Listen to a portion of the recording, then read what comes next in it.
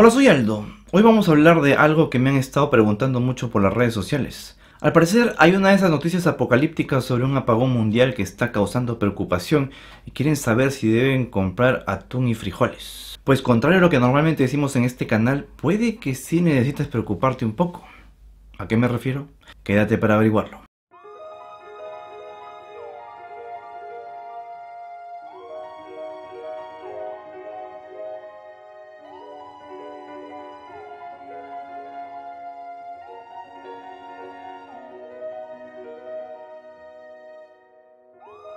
Tenemos algo que siempre nos acompaña, nuestro Sol.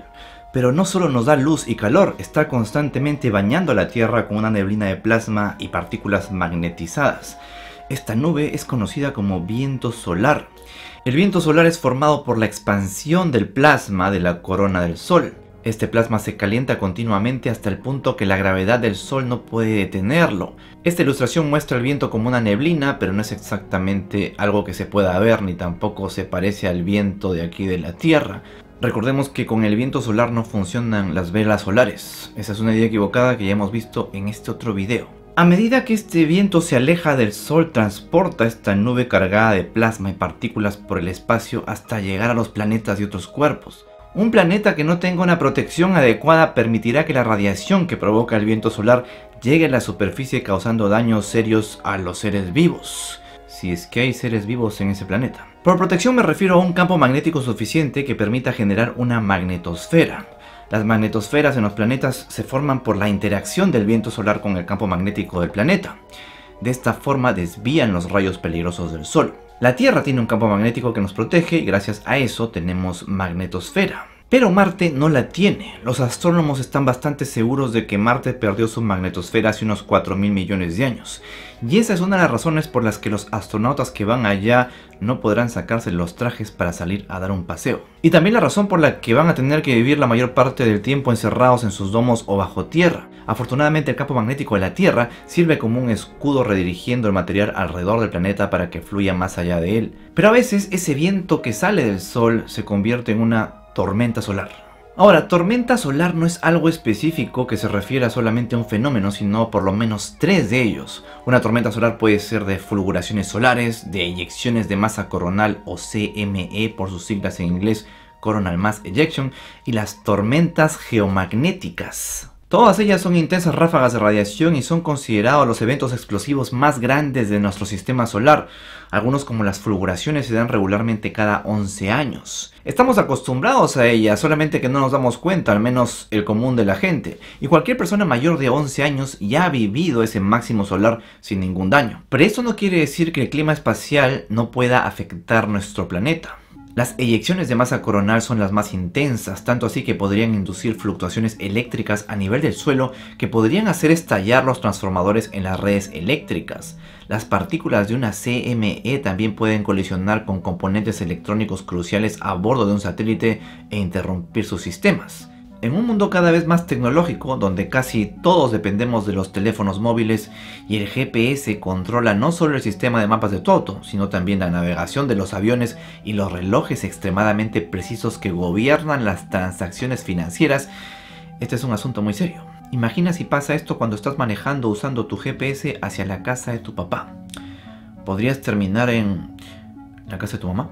Estos fenómenos intensos ya han pasado antes, Sí, ya han pasado antes. Ocurren una o dos veces cada 100 años y no tienen ni han tenido una repercusión global, pero hay algunas que son mucho más fuertes como el evento de Carrington. En 1859 se produjo el evento Carrington, la tormenta solar más grande jamás registrada. Se le llamó el evento Carrington porque fue el astrónomo británico Richard Carrington quien lo observó astronómicamente. En aquel entonces solo se interrumpió el servicio de telégrafo porque los cables se quemaron y se pudieron ver auroras en la zona ecuatorial.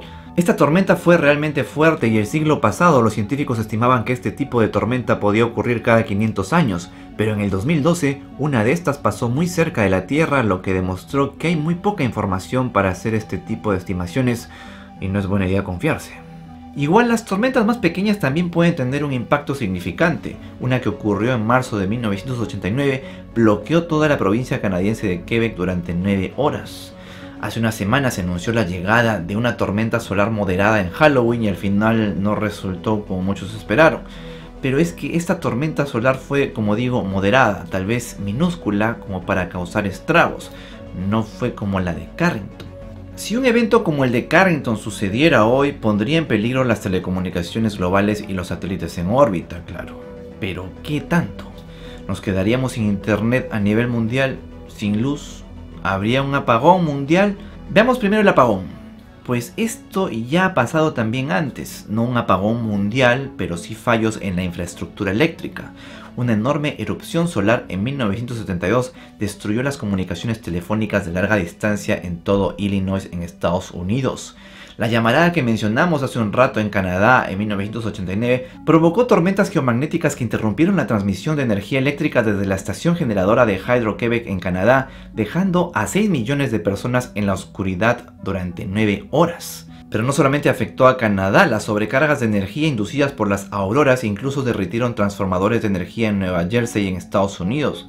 En diciembre de 2005, los rayos X de otra tormenta solar interrumpieron las comunicaciones de satélite a Tierra y las señales de navegación del GPS durante unos 10 minutos. 10 minutos tal vez no puede parecer mucho, pero no te gustaría estar en un avión que utiliza GPS durante esos 10 minutos, ¿o sí? Es difícil calcular el alcance del daño que una tormenta de la escala de Carrington podría causar a la Tierra en el día de hoy, pero podemos estar seguros de que la mayoría de la población humana experimentaría apagones durante mucho más tiempo que los apagones que ocurrieron en los eventos anteriores. Apagón en todo el mundo, que todo el mundo se quede sin electricidad. No, porque primero una tormenta solar no es algo que afecte a toda la Tierra por igual, zonas de mayor incidencia y segundo, los científicos tienen forma de saber antes de que llegue a la Tierra y pueden simplemente desconectar los equipos que pueden ser dañados. Pero si es que llega a pasar en algunas zonas, los daños a las redes eléctricas tendrían efectos en el transporte, saneamiento, la atención médica e incluso la infraestructura del agua y si estos daños son en países claves de comercio, pues F. Ok, algunos pueden decir, oh, yo puedo vivir sin luz, tengo velas en un cajón y galletas. ¿Y el Internet? ¿Puedes vivir sin Internet? El Internet es algo que se ha convertido en una necesidad básica prácticamente para una gran parte de la población. Un estudio publicado en la Universidad de California respecto a este posible escenario muestra que las conexiones a Internet locales y regionales tendrían un riesgo bajo de dañarse porque los cables de fibra óptica no se ven afectados por las corrientes inducidas geomagnéticamente. Pero los largos cables de Internet submarinos que conectan continentes son una historia diferente. Estos cables están equipados con repetidores para aumentar la señal óptica, espaciados a intervalos de aproximadamente 50 a 150 kilómetros. Estos repetidores son vulnerables a las corrientes geomagnéticas y cables enteros podrían quedar inutilizados si incluso un repetidor se desconecta. Si fallan suficientes cables submarinos en una región en particular, entonces continentes enteros podrían cortarse entre sí. En el caso de una tormenta geomagnética catastrófica, son las naciones de latitudes altas las que tienen más probabilidades de quedar desconectadas de la red primero. Es difícil predecir cuánto tiempo tomaría reparar la infraestructura submarina, pero el estudio sugiere que es posible que se produzcan cortes de internet a gran escala que duren semanas o meses. ¿Se imaginan estar sin internet durante meses? No piense solamente en, ah, yo puedo vivir sin internet, me gusta leer y además no tengo amigos. Piensa en cuánta gente depende de la web para subsistir y se quedarían sin trabajo de la noche a la mañana. Por meses. O sea, piensa en mí, no seas malo. Las tormentas solares podrían incluso afectar los futuros viajes espaciales, podrían matar a astronautas cuya nave no esté bien protegida en una futura misión, ya sea a la Luna o a Marte. Un estudio publicado a principios de este siglo muestra cómo una erupción como la del evento Carrington podría tener la fuerza suficiente como para matar astronautas en una nave espacial mal blindada. La tripulación de una futura misión a Marte podría estar en riesgo a menos que su nave esté fabricada con los materiales adecuados. Los astronautas en la Estación Espacial Internacional están bien protegidos, aunque una vez para mayor seguridad, astronautas estadounidenses tuvieron que moverse para el lado ruso para protegerse de un bombardeo de partículas poderosas. Pero ok, olvidémonos de los astronautas por un rato, todavía no están listas las naves que los van a llevar a la Luna y más allá. Nosotros acá en la Tierra, ¿podremos prepararnos? Bueno, primero tienen que tener muy en cuenta que como dije anteriormente, tormentas solares pasan regularmente, así que si ven una noticia por ahí como la de Halloween, no necesariamente significa el apocalipsis. Es poco probable que pase algo como lo de Carrington mientras nuestra generación esté viva, pero uno nunca sabe. Poco probable no es imposible. ¿Y qué hacemos si pasa? ¿Salimos a correr como el reverendo Alegría? Pues esto no es algo que suceda y al segundo ya estamos fritos. Si bien no hay manera de saber cuándo exactamente ocurrirá la siguiente súper intensa tormenta solar al estilo Carrington, tendremos algo de tiempo para prepararnos en caso de que ocurra. No es como la luz que demora en llegar 8 minutos desde el Sol, esas partículas cargadas no viajan a la velocidad de la luz. Los científicos calculan que cuando la próxima gran tormenta solar salga de nuestra estrella tendremos entre 13 a 18 horas para comprar atún y frijoles y desconectar los equipos. Bueno, ustedes no, las grandes centrales de energía. Así que no se aloquen, respeten la fila y no se acaben el papel higiénico, no sean basuras. Y bueno, hasta aquí este video, espero que esta duda se les haya aclarado. Como pueden ver, no va a ser un evento apocalíptico de que va a acabar con toda la humanidad, pero sí nos puede afectar bastante, como suele suceder con este tipo de cosas. Espero que puedan dormir más tranquilos, abrazando su papel higiénico. Por mí eso ha sido todo, no se olviden que ya tenemos tienda. Gracias por ver este video y hasta la próxima.